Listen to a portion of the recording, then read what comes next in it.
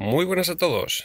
Pues como veis estoy haciendo la transformación de, este Dacia a una réplica de, del Renault y para que no falten más detallitos y el volante no haya que cambiárselo he conseguido esta placa que en realidad va para las los tapacubos o las llantas que tenga el símbolo pues podemos pegárselo encima. El airbag, como sale todo el armazón entero, no va a afectar en nada la seguridad.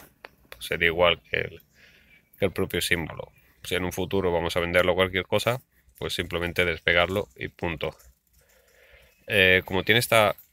Eh, es cóncavo, no es recto, no da contacto, le ponemos un par de cintas de, doble cara y ya pues sería centrarlo y pegarlo correctamente a la zona deseada y bien centrado. Pues nada, esto era todo. Muchas gracias, hasta otra.